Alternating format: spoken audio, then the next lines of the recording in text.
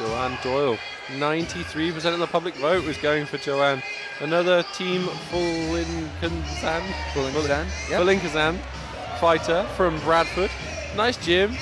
They do uh, gi grappling, embrace the old school jiu-jitsu, and they also do quite a lot of Muay Thai.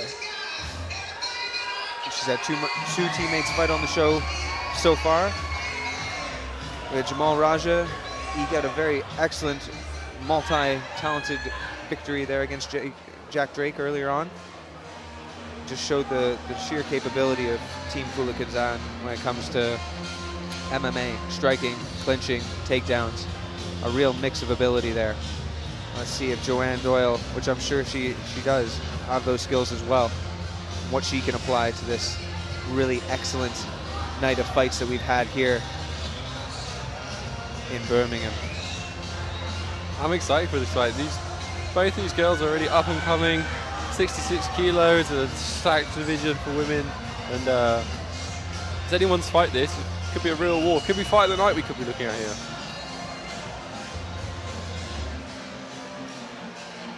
Battle Arena 39. We are at Edgbaston Stadium, the famous cricket ground. We are here.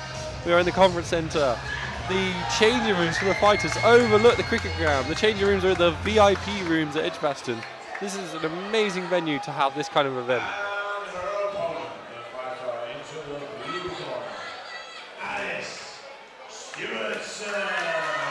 Alice Stewardson representing Impact MMA. It's going to be.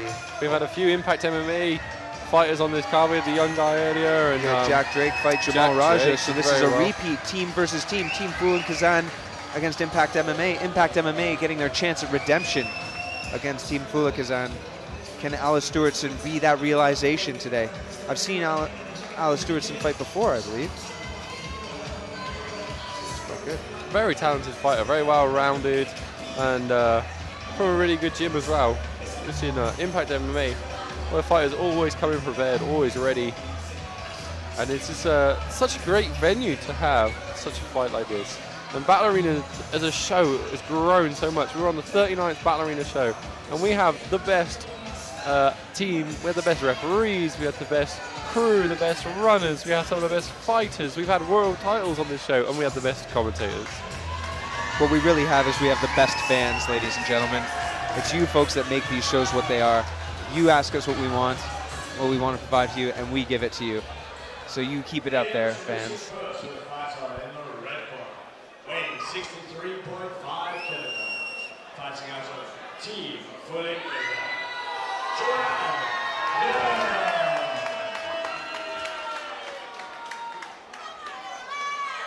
And her opponent, in the blue corner, weighing 65.2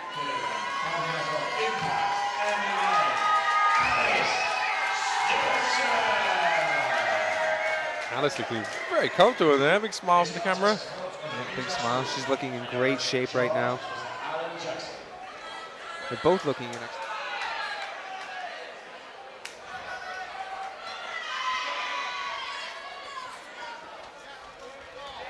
Oh, big, excellent over under throw there. And what a reversal, a big hip toss, and then that's often the problem with judo, all those judo throws. People are fighting for the ippon, fighting for the point, but they forget the momentum. And in MMA, you just keep the momentum going, and all of a sudden, the person that got thrown ends up on top. Also, I hate to say this from a wrestling standpoint, but that head and arm throw is useless in MMA and submission grappling because you tend to give up your back unless they roll you through, like Joanne Doyle did just there to Alice Stewardson. So Alice on the bottom here in half guard. She looking to try to roll and try to explode up, but she ends up giving up that mounted position. This is an A-class fight, so we do have strikes to the head, unlike the earlier fight that we had between our two female competitors. Unless maybe it is B class.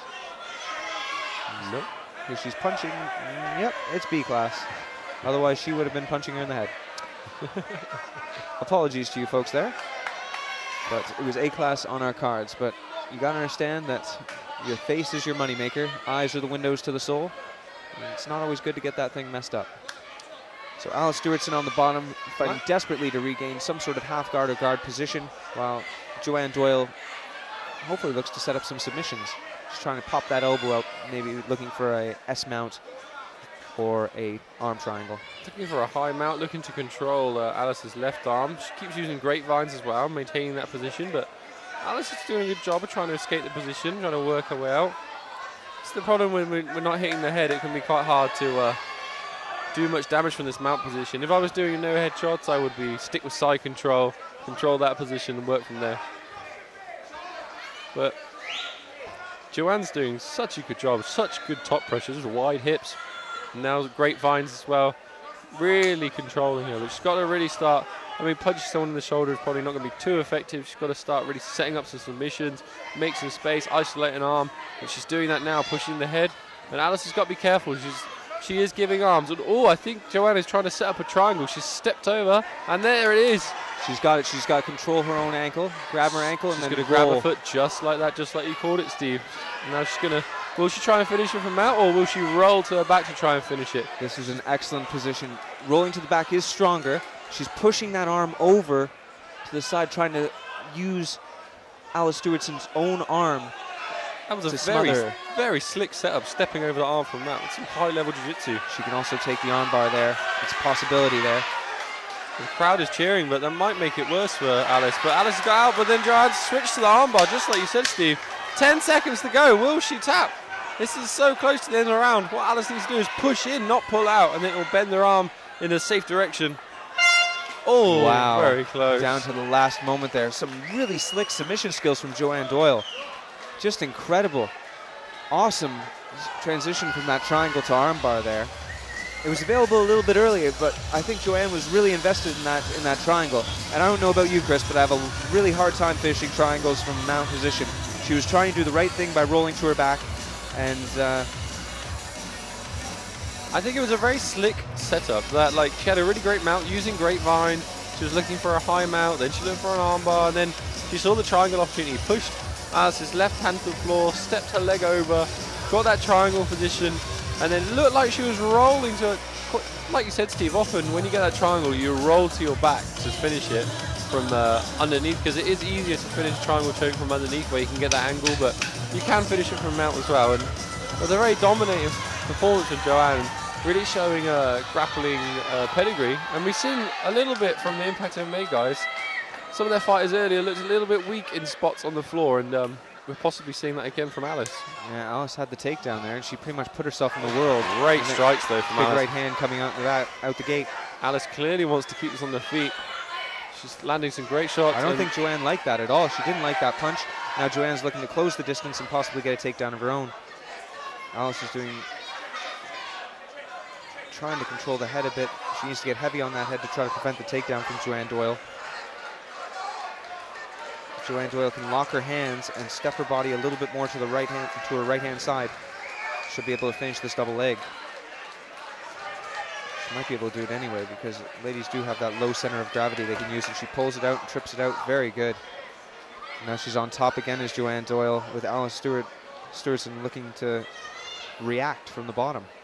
But will Joanne be as dominating on this round? And it's a little bit awkward when you're trying to work some jiu-jitsu positions against the fence. Alice is kind of being propped up by the fence. She might be able to use that to get back to her feet. Call it uh, cage walking, when you kind of walk your shoulders up against the, the cage so you can get back over to your feet. Just as you call it, Chris, she tries to get her feet underneath her and walk up the cage, which she's doing. And Joanne is still holding those legs, trying to stop her, prevent her from getting back to her feet. And what Joanne's going to try and do is pull her legs out, but Alice has got back to her feet and a lovely power underhook there. Power underhook and Stewardson puts a knee on the end of it. Oh, Alice is looking for a guillotine. It might not be the smartest thing to do, especially in the striking stages. You seem to have the little bit of advantage over Joanne. Maybe she should just look to separate. Yeah, hard now as Joanne looks to drop in for another single or double leg. Oh, she might be under the chin though. It's hard from half guard. Yeah, she's not getting any real p- pressure on the hips, being able to extend Joanne Doyle out and finish that choke. She's just really holding on to a headlock position right now. Alice Stewardson probably going to have to give that up momentarily.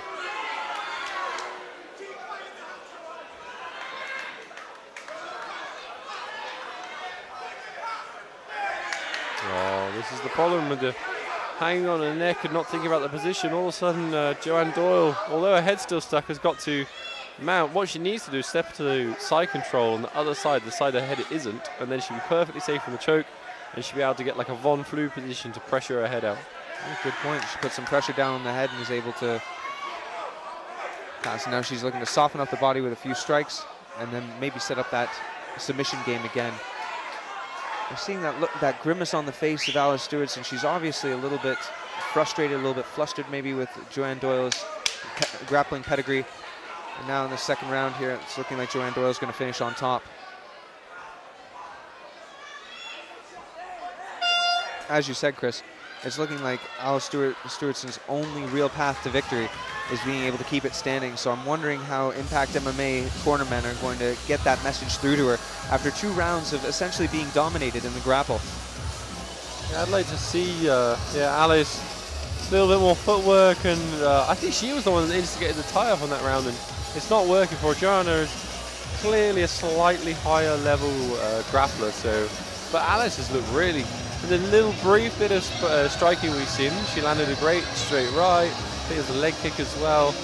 Um, I think Alice's best shot of, she's got to cut, she's two rounds down, she's got to throw caution to the wind, she's got to throw some power shots, and then use that footwork to get away whenever Joanna's looking for that takedown. Yep, evade and counter, evade and strike.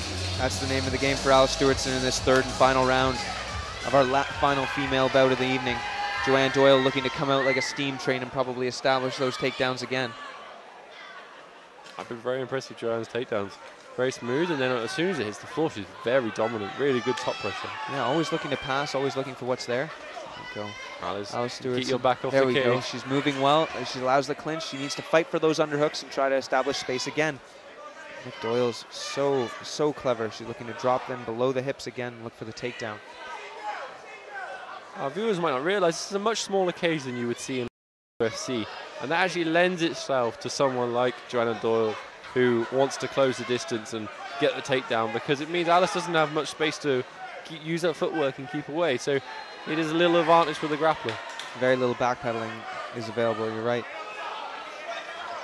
Alice is really, really favoring that power underhook, but it's not, it's not working for her right now. She needs to abandon that post with her right hand and wall walk like she's doing right now, and separate her legs. Try to separate her legs, make Joanne's arms work. Yes, and she ends up on top. Oh, what a what a turnaround in this third and final round. This is a uh, it surprised me. I think it was more Joanna desperately trying to keep it on the floor that cost her the position. Yeah, she just allowed her, her her body to go over top of her hips and knees and get forced backwards. But with the submission game that she had on top, I wonder if she can answer with something from the bottom. Yeah, she's definitely looking for an angle. She was underhooking the leg there. Because it's B class, she doesn't have to worry about being hit in the head, so she can throw out these submissions and um, be aggressive with it from the bottom. But it's difficult when your head is against the cage like that because she can't get the angle she wants. So it might be a good idea to open a guard, make a little bit of space, be brave, and then set up the submissions. But She's trying to sneak that left leg over the head of another triangle being set up there. Oh, really slick setup for that triangle. Held the wrist, pushed the arm away, and set up that triangle. But it's going to be so hard to finish when you're that stacked and you're right against the cage. Yeah, highly stacked, and the the way she wants to lock her feet are pretty much prevented by the cage there, at least momentarily. She's got to reach up with her left hand, try to grab her shin and pull it down. Get that choke, and she's getting it right now, but she just needs a little bit more of an angle. Oh, Alice Stewardson doing doing essentially, you know, what your instincts tell you to do, but really slamming herself a little deeper into that triangle. There we go. She's getting that triangle through. Feet up the cage. Often when you've got that triangle and you're being stacked like that, you want to walk your shoulders backwards, but that cage is just getting in the way of making it really She's difficult. getting a bit of an angle now.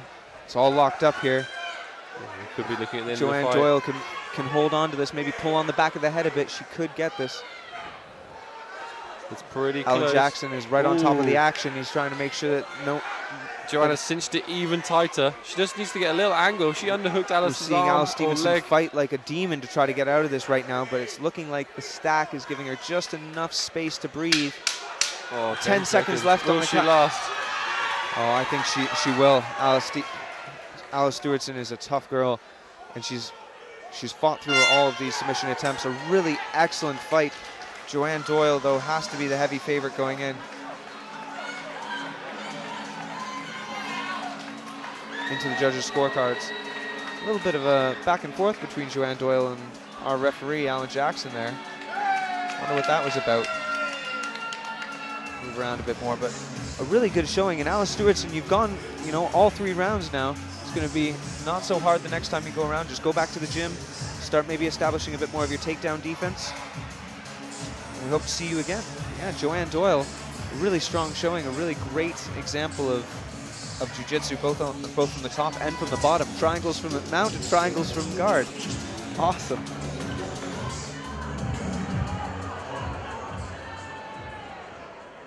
So after three great rounds of action, we go to the judges' scorecard. We have your winner by unanimous decision, the fighter in the red corner.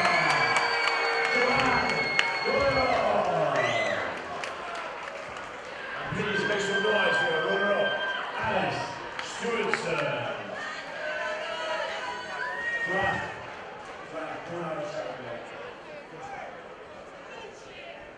How you feeling after that fight? Very dominant performance with your back then.